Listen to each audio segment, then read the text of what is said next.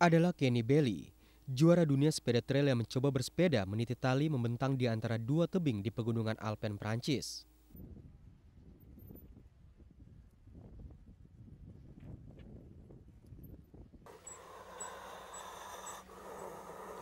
Tali sepanjang 18 meter terbentang di antara dua tebing curam di ketinggian 2.700 meter dari permukaan laut.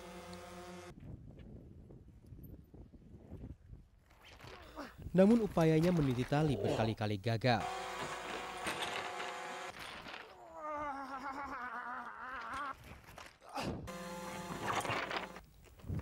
Meski demikian, atlet dari Belgia ini tak menyerah begitu saja.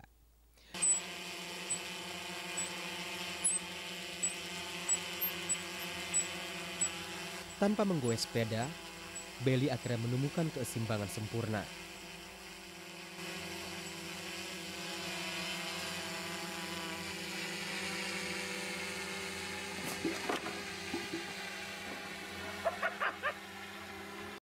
Bailey sudah bersepeda selama 23 tahun. Namun untuk meniti tali yang membentang di antara dua tebing curam, ia butuh latihan intensif selama enam bulan. Ini juga ditambah persiapan aksi ekstrim, melintasi pegunungan Alpen selama hampir satu tahun. Bagi Bailey, inilah petualangan terbesar selama karirnya bersepeda.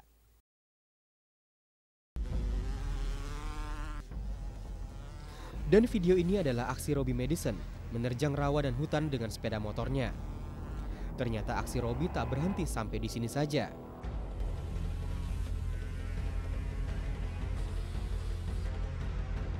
Stuntman asal Australia ini juga mengarungi laut lepas dengan sepeda motornya, seperti layaknya kapal cepat.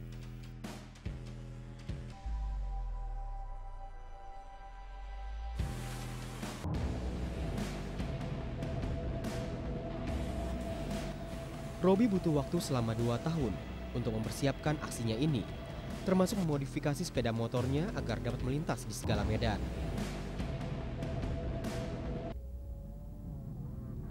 Rekaman ini diambil Robi dan krunya di Tahiti dan diunggah di media sosial pada awal Agustus lalu.